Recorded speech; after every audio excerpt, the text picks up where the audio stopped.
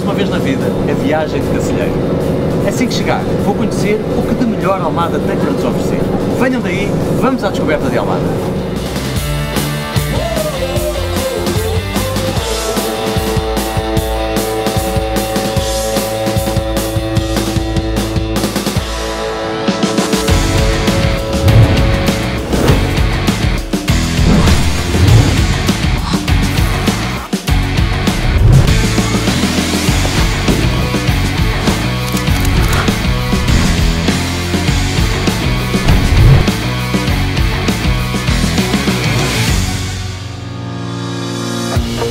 Sempre fui fascinado pelo mar e pelas grandes construções navais. Não é de estranhar que tenha vindo logo espreitar o estaleiro da Margueira, a Lisnave, em Cacilhas. Este grande estaleiro foi encerrado há mais de 20 anos, mas o gigantesco pórtico de 300 toneladas ainda faz parte da paisagem, para não deixar esquecer os milhares de almadenses que aqui trabalharam. A construção deste estaleiro, pela sua situação nas rotas marítimas mundiais e pela sua envergadura, foi sem dúvida um dos grandes projetos industriais portugueses.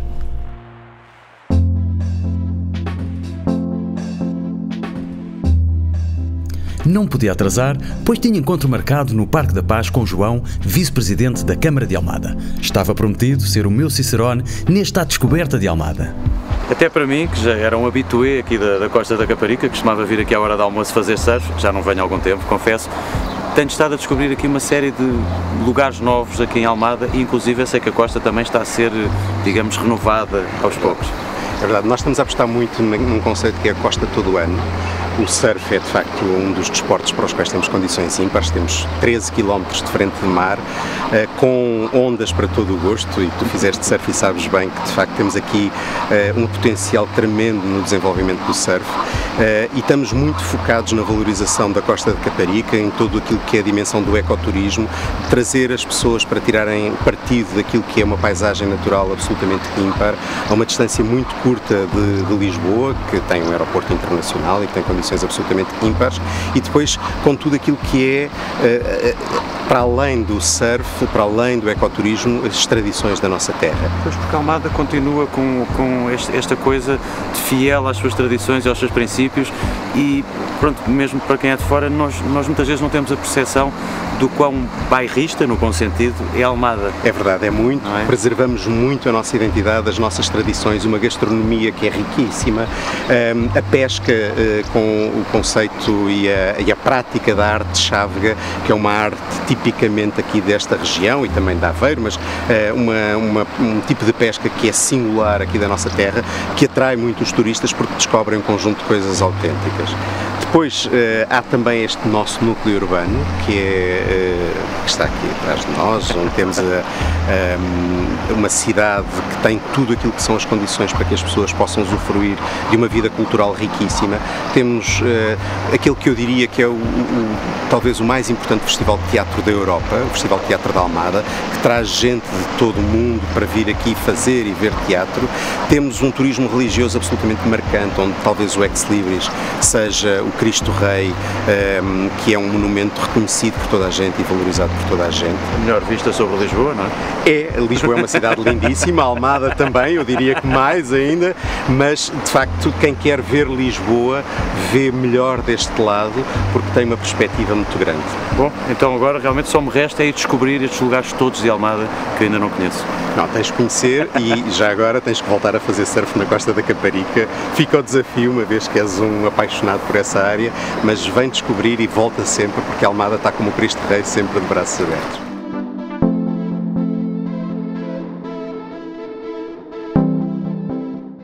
E com tantas e tão boas dicas, parti logo à descoberta. Mas primeiro, encher a barriga.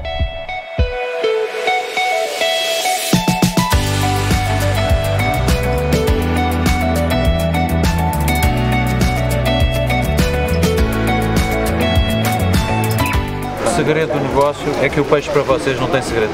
Não tem segredo nenhum. É só usarmos o nosso peixe, que é nosso.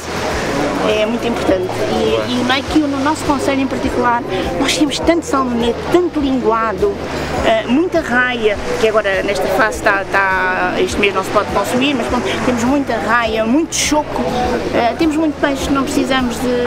Ou seja, com, com que é da um peixinho terra. lá da é da Tailândia, terra. né? Não, não, que é da terra que é bom e, e manter ainda aqui uma estrutura familiar. Ou seja, Também é isto, no fundo importante. continua aqui com o toque caseiro que todos nós gostamos. É muito importante. Tá. Espero que goste, está bem? Se estiver com mais amêijoas, vou gostar de certeza. Vá. Só não comi as cascas por pouco. Então vá, até Tá já. bem? Obrigado.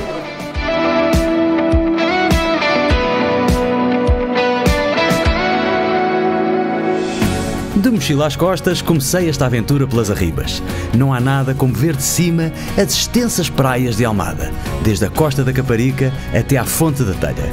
É incrível como abrangem cerca de 13 km de costa, com a particularidade de todas possuírem excelentes condições para a prática de desportos de mar e, claro, para a pesca.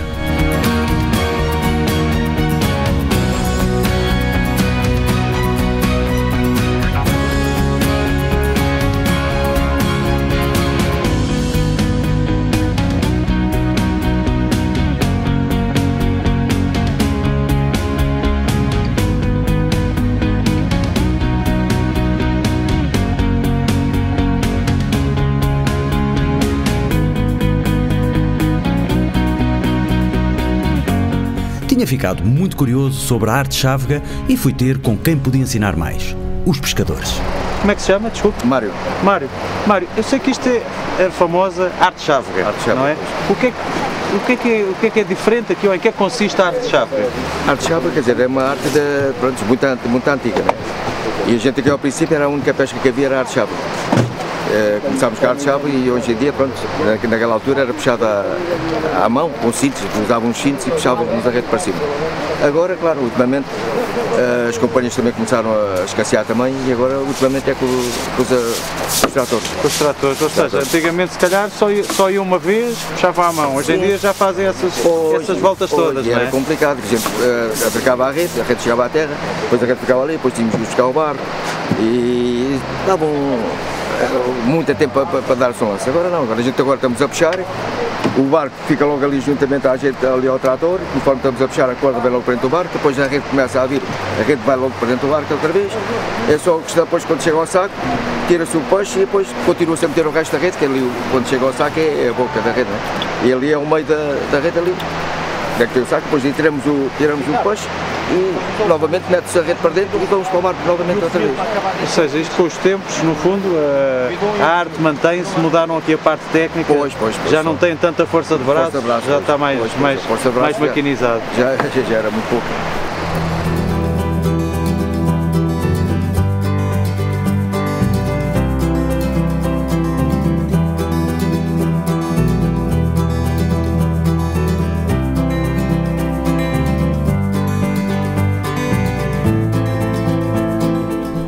Barco foi à água e fiquei com eles à espera que voltasse. E felizmente veio cheio de peixinho.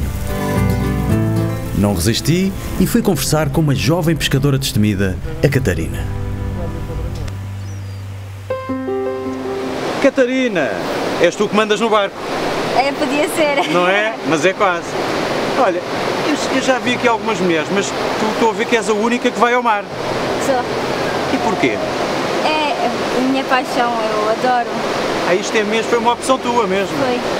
É fantástico. E diz-me uma coisa, como é que te sentes aqui num barco em que és a única mulher, para além de mais, bastante mais nova que o resto dos tripulantes? Como é que te tratam aqui? Diz-me lá. Ah, Não, tratam-me normal. normal? Normal, sim. Quer dizer, bem. às vezes impedem-me de fazer alguma coisa porque têm receio que eu faça mal. Mas pronto, por acaso eu sei fazer, não é? E algum destes, destes senhores, destes outros pescadores, é teu pai, é teu familiar? Não. Ah, meu tio, o dono. É teu tio? E foi uma grande guerra para poderes vir para aqui ou não? Neste barco não foi tanto, mas no outro do inverno isso não me deixa de maneira nenhuma.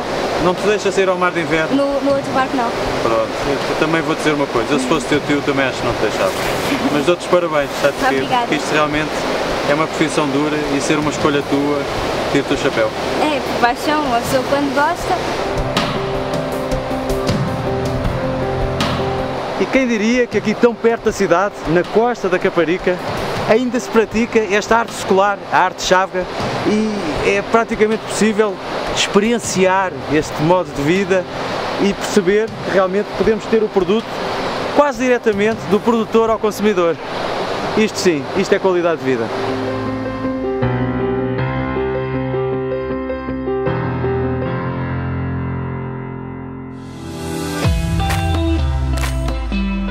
E já que estava na costa da Caparica, por que não uma aula de kitesurf? Bom, como é que é? Vim ao lugar certo, estou na capital do kitesurf. Estás na capital do kitesurf, estás na costa da Caparica, estás na escola do Border Club, estás bem entregue e vamos avançar aqui para o mar. Estamos com excelentes condições, uh, um areal extenso, ondas boas. E o vento, está o bom? vento está perfeito. Isto é aqui uma das mecas do kitesurf, está É bem? a meca do kitesurf, em Portugal. Em Portugal, Portugal. ou seja, estamos Costa da aqui- Caparica. Costa da Caparica, Almada, meca do kitesurf em Portugal. Vamos a isto. Vamos embora.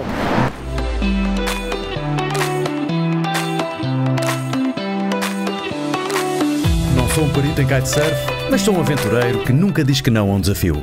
Com mais umas aulas, acho que chego lá.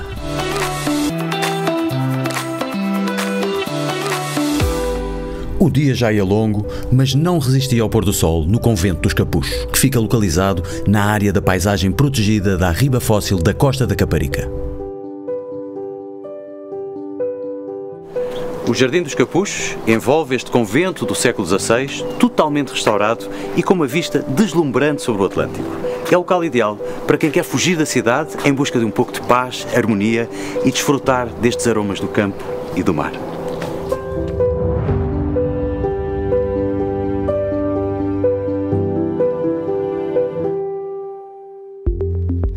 Novo dia, nova oportunidade para conhecer mais sobre a nossa história. Aceitei o convite do comandante Queiroz e subi a bordo da fragata Dom Fernando II e Glória, uma fragata à vela da Marinha Portuguesa que navegou entre 1845 e 1878. Atualmente é um navio-museu na dependência do Museu da Marinha. Sabiam que é a quarta fragata de guerra mais antiga do mundo? Incrível! Comandante Queiroz, obrigado por esta visita guiada, esta explicação fantástica que me deu. Almada é, digamos, a principal base da Marinha que temos aqui em Portugal, certo?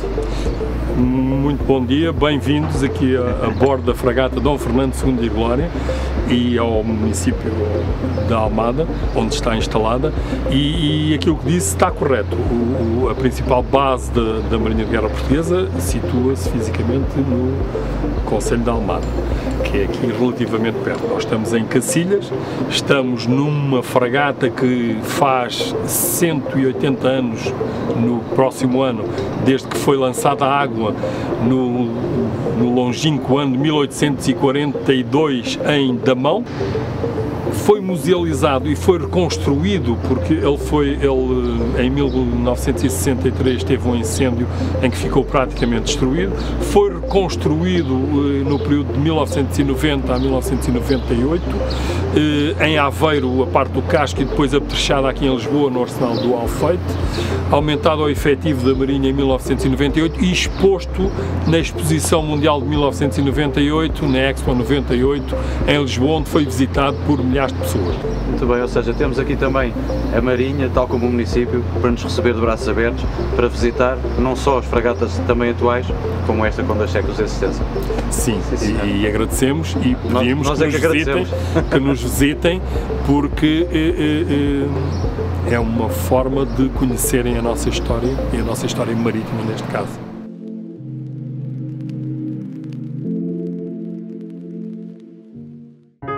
E como saber não ocupa espaço, ainda dei um pulinho à Casa da Cerca, um centro de investigação e divulgação de arte contemporânea.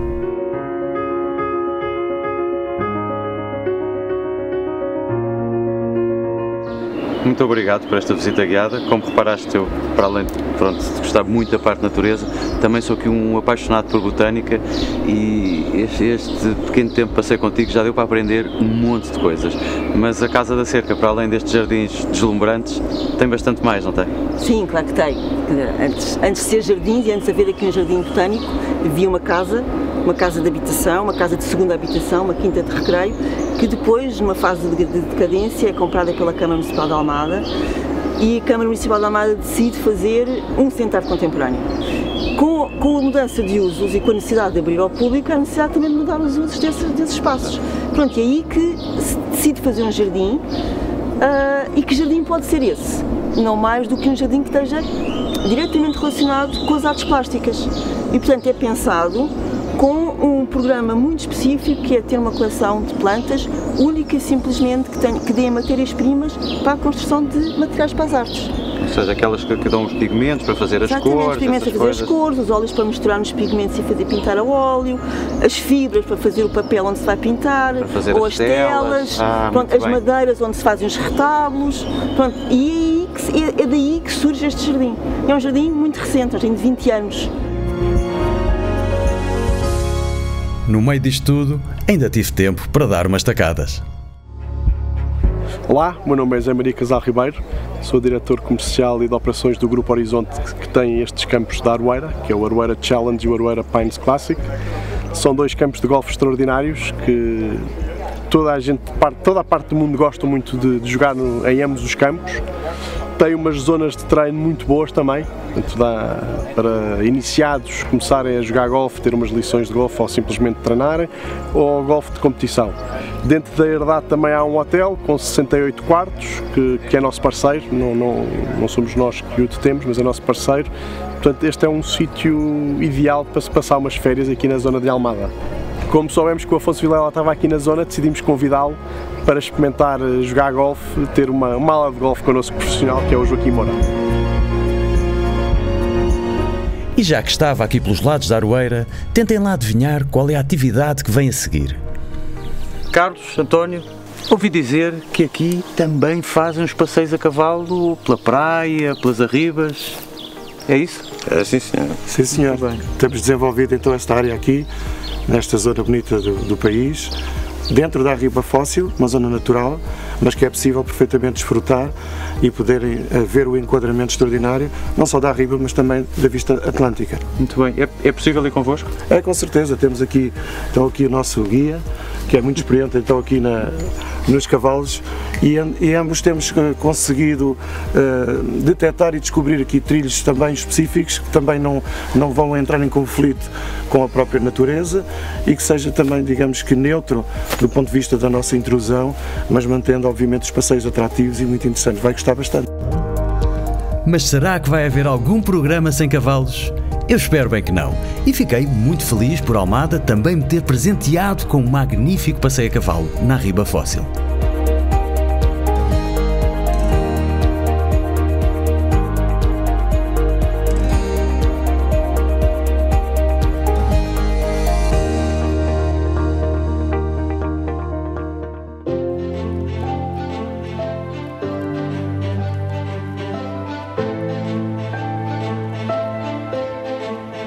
Turismo industrial e de arte urbana está bem visível em Almada. A Romeira, outrora um ponto fulcral no desenvolvimento industrial da região de Almada, tem agora um espaço que nasceu das ruínas de um complexo de antigas fábricas na Cova da Piedade.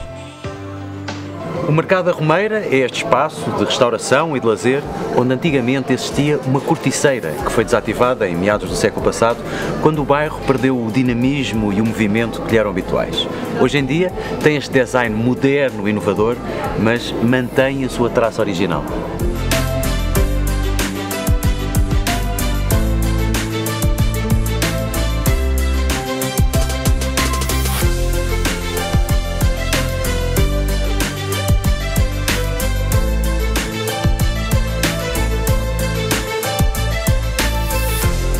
E despedimos-nos de Almada num dos locais mais emblemáticos do nosso país, o Cristo Rei. Quando penso que já conheço um lugar, sou sempre surpreendido. Almada tem praias, história, tradição, fé, boa gastronomia, paisagens fantásticas e muito mais. É para regressar e em breve. Até lá, não percam o próximo à descoberta.